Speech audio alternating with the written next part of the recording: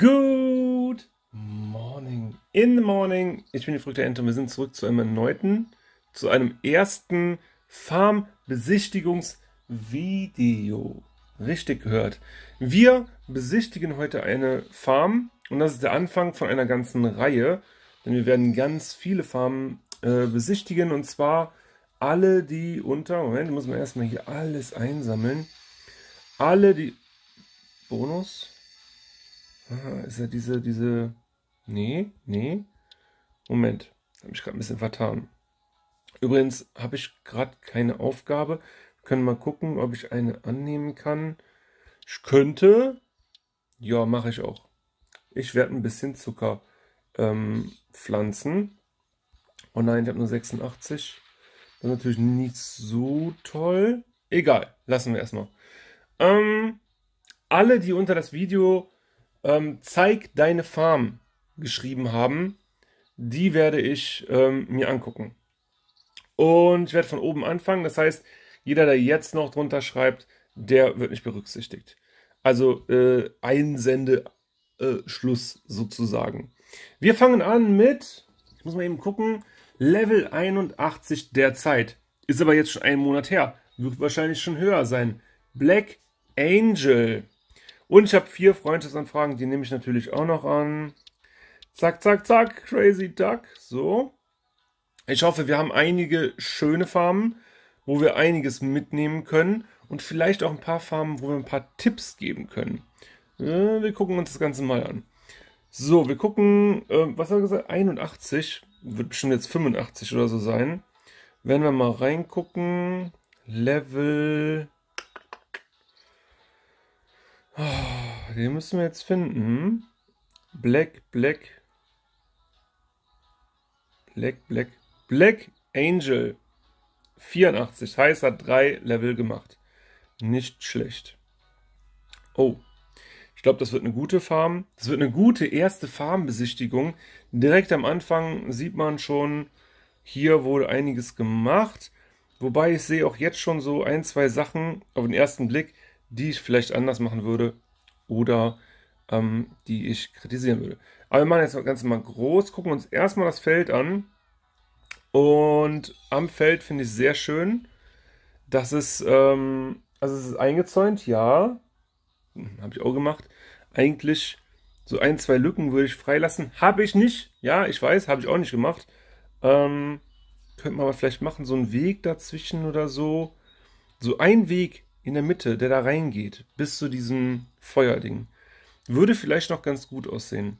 Dann hat er auf jeden Fall hier am Straßenrand so ein paar Chill-Möglichkeiten. Finde ich auch sehr gut getroffen. Ein paar Bäume dazwischen. Sehr abwechslungsreich und sehr gut gemacht. Wasser zwischen den Bäumen sieht auch ganz gut aus. Hier mit den Bänken. Gut, kommt man halt nicht hin. Das ist so ein bisschen, sieht ein bisschen aus wie also statt die Figur, die Figur hätte ich vielleicht dahingestellt, wo die ähm, Bank ist und dafür schon einen weiteren Baum dorthin. Aber ich kann mir vorstellen, dass er das nicht gemacht hat, weil er das Boot zeigen wollte. Ne? Weil der Baum hätte ein bisschen das Boot versteckt. Und vielleicht deswegen. Aber da ist eine große Lücke und kein Weg zu den Bänken. Aber es gibt auch Leute, die sind kein, keine Fans von Wegen. Deswegen gut. Ähm, hier ein Dreierweg, glaube ich sogar. Also mindestens Zweier, aber vielleicht auch Dreier bis hin zum Boot. Und das sieht gar nicht schlecht aus, weil der Bootssteg auch so ist. Aber ich glaube, dieses Video wird ausschließlich, ausschließlich für diese Farm. Denn hier gibt es, glaube ich, viel zu gucken. Also wir gucken weiter. Hier passen die Bänke auf jeden Fall sehr gut hin. Und da oben auch ein Tipp, den ich immer gebe. Große Bäume hier hinten an der Wand. Dadurch versteckt ihr diese hässliche große äh, Wand halt. Ne? Also da ist ja so eine, so, eine, so eine Bergwand und die versteckt ihr so ein bisschen. Und das ist auf jeden Fall sehr, sehr gut. Ähm, hier hat jetzt noch ein paar große Bäume vor den Schmelzen. Kann man machen, ja.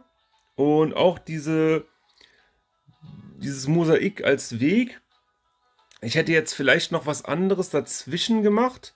Nicht nur ähm, Wiese, aber auch sehr, sehr schön. Da hier auch gut Sand und, und Springen. Also die, die, dieses, äh, boah, mir fehlen die Worte heute Morgen. Ähm, dieser Pool. Ganz selten, dass ich sehe, dass der wirklich gut irgendwo hinpasst. Meistens hinter dem Haus, wenn man da so einen kleinen Garten baut mit Umzäunung und so, dann passt es einigermaßen, aber so ganz selten, dass der Pool passt, weil der hat so eine markante Kante, markante Kante. Wisst ihr, was ich meine? Also der hat da so eine, steht so weit hoch hinaus und irgendwie passt das gar nicht. Also der, der, für meinen Geschmack, also alles nur mein Geschmack, das ist gar keine Bewertung oder sowas, das ist alles nur eine Geschmackssache und für meinen Geschmack passt der nicht so richtig unbedingt auch reinschreiben in die Kommentare. Allein schon für den Algorithmus, für das Video. Was findet ihr an dieser Farm am besten? Was hat euch besonders gut gefallen? Ich glaube, wir machen das echt so bei so großen Farmen. Ein Video. Nur für diese Farm. Machen wir einfach so. Weil sonst, man muss sich auch Zeit nehmen. Für schöne, große und dekorierte Farmen muss man sich Zeit nehmen.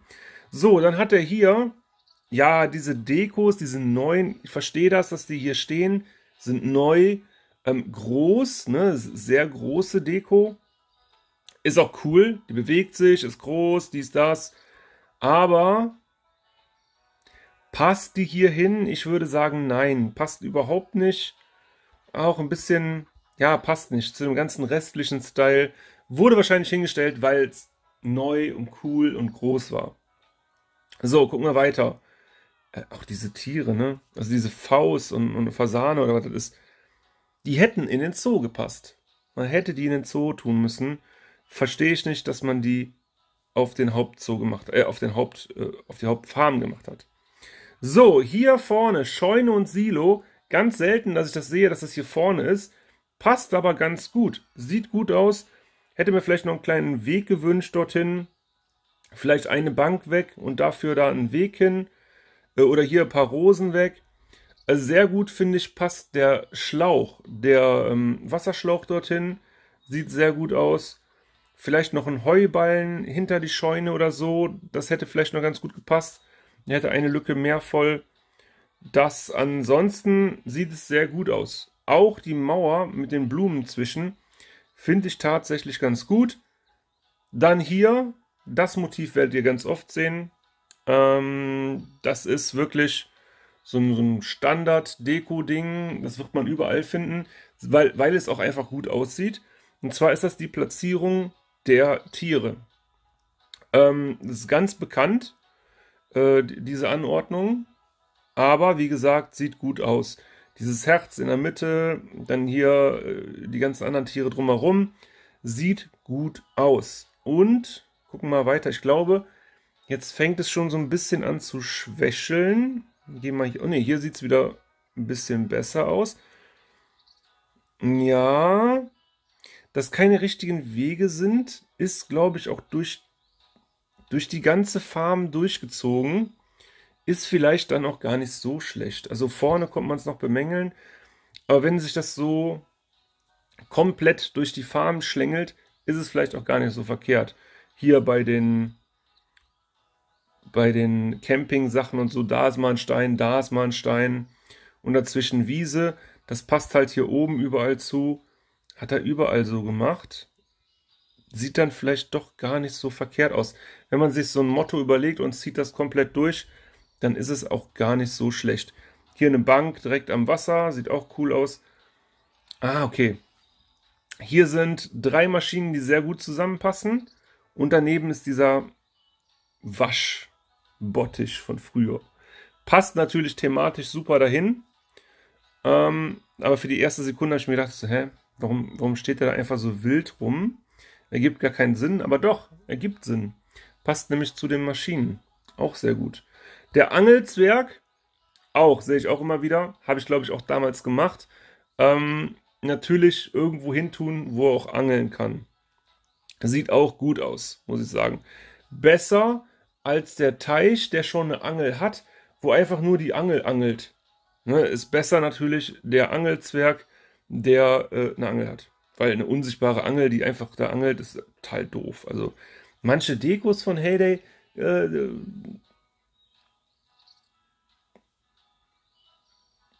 ja. Also es gibt manche Dekos wirklich von Heyday, die muss man nicht verstehen. Ein Klo hier einfach so, das machen auch viele. Warum? So ein Klo überall hinstellen. Na gut. Ähm, gut, irgendwo muss man auf Klo gehen. Aber gut. Ähm, Süßigkeiten, Zucker und ähm, das, also die passen auch alle gut zusammen. Auch hier oben die. Thematisch schon versucht, wirklich die Maschinen aneinander zu halten. Oh, es gibt einfach so viele Maschinen.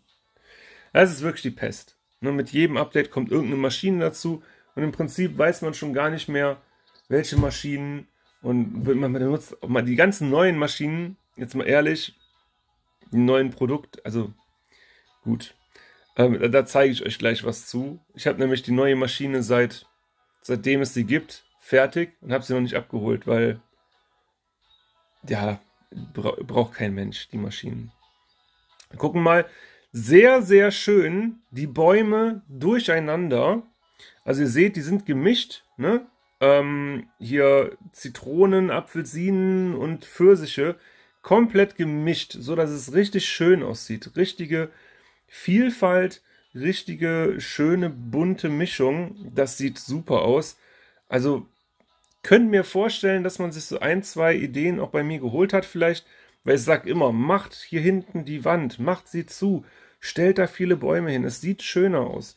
Und auch hier der Weg zu Oma und Opa freigehalten, sehr, sehr schön, dann kommen die auch runter. Alle anderen bauen das nämlich zu, wumm, dann kommt da keiner mehr durch. Hier ist es auch freigehalten, finde ich sehr, sehr gut. Und top, top, top, top. Also gefällt mir sehr gut. Hier vielleicht ein bisschen am Schwächeln. So äh, die zwei, so Bienen und ähm, Eichhörnchen. Da hätte man vielleicht dekomäßig ein bisschen mehr rausholen können, als nur eine Umrandung, die auch nicht symmetrisch ist, glaube ich. Oder? Doch, da hinten ist auch eine zweite Reihe. Ja, aber nee, so richtig gefallen tut mir das nicht. Auch mit den vielen Laternen da hätte man auf jeden Fall ein bisschen was rausholen können. Finde ich. Finde ich. Ansonsten, wir gucken mal weiter. Die Tiere. Ähm, einen Eingang gibt es hier auch nicht. So ein Tor wäre ganz cool. Die Esel. Warum das? Was ist das für ein S? Habe ich noch nie gesehen. Scheint eine neue Deko zu sein. Ja, viele Dekos untergebracht. Manche Dekos ergeben Sinn, manche nicht. Was ich cool finde, das Heu einfach extra eingeschlossen, damit die Pferde es nicht einfach aufessen. Das finde ich ganz cool, sehe ich zum ersten Mal und ist eigentlich eine richtig coole Idee. Also der Haupt, das Hauptgelände ist abgesperrt mit äh, einer Hecke. Nur die Futterecke, also mit dem Vorrat, ist abgesperrt mit einem Zaun. Sehr, sehr cool. Das gefällt mir wirklich gut. Dann hier unten Osterhase. Gut, ja. Ja, die Dekos. Gut, man will auch die Dekos, die man hat, irgendwie unterbringen. Ähm, Fühle ich jetzt nicht so hundertprozentig. Also die Hasen sind auch hier unten. Es passt schon alles. Ähm, auch die Blumen thematisch passen da gut zu. Pferde sind alle ausgebüxt. Aber fühle ich jetzt nicht so 100%. Dann haben wir hier einen ganz, ganz kleinen ähm, Friedhof. Für Halloween-Zeit perfekt. Die Dekos habe ich auch alle. Finde ich auch sehr cool, die Dekos. Besonders hinten das ähm, Schwein, was aus dem Grab rausguckt. Finde ich, find ich sehr cool. Auch das Huhn. Boah, ist das lange her, als es das Huhn zu Halloween, Halloween, Halloween gab. Das ist schon einige Jahre her. Ähm, einige Jahre. Also ich habe drei Jahre Pause gemacht und da, also es wird wahrscheinlich fünf Jahre her sein oder so, wo es das zu Halloween gab. Vielleicht gab es danach auch nochmal zu Halloween, ich weiß es nicht. Dann eine chinesische Ecke und da hat man wirklich hier ähm, Platz verbrannt, also ohne Nutzen, wirklich reine Deko. Hier hätte man auf jeden Fall zumindest den Asia-Shop reinstellen können. Und vielleicht noch, wo haben wir den? Eine Teestube und den Asia-Shop. Hier, die Sushi-Maschine. Vielleicht auch noch die Salatbar. Oder hier den Wok und die Teestube. Vielleicht hier irgendwie noch untergebracht. Ansonsten ist natürlich eine schöne Deko-Gegend ähm, hier. Was ich sehr, sehr schade finde, was nur bei Heyday ist, bei Township zum Beispiel ist es anders. Und auch bei Zoo ist es anders. Man kann nicht den Boden unter den Dekos verändern.